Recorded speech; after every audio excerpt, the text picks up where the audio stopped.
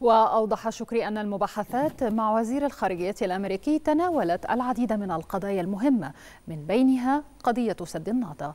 وأكد شكري ضرورة استمرار العمل المشترك للحفاظ على مصالح كافة الأطراف وفقا لقواعد القانون الدولي والحقوق المشروعة في الحفاظ على الموارد المائية والأمن المائي المصري.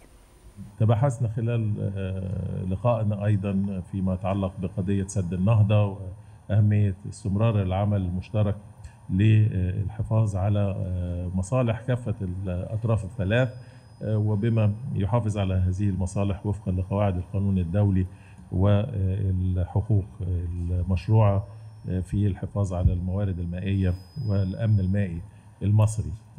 أيضا تناولنا قضية ليبيا والسودان وأهمية العمل المشترك لمواجهة كل التحديات التي نعمل سويا على التغلب عليها. بالتأكيد أنه مواجهة الإرهاب مواجهة التطرف من ضمن الأولويات الرئيسية.